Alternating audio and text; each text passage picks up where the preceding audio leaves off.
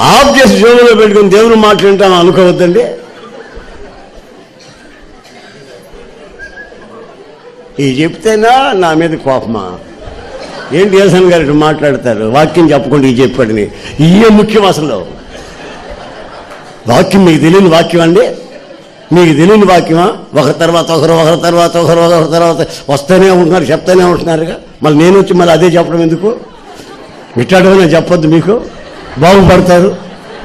ఆమె. ఆమె. ఆ ఎవ్వ వచ్చిందా? ముసలామే.